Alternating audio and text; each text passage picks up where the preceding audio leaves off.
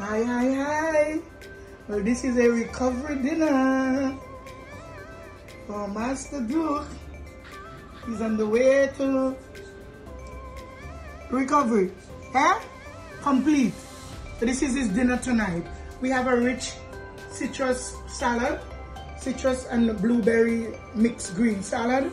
Yes, with nice homemade dressing. And we're doing it with salmon. Yes, pan-seared salmon with okra, curry okra in coconut milk. And we have our peppers and we have our zesty, tasty avocado salad. Boom. Make some.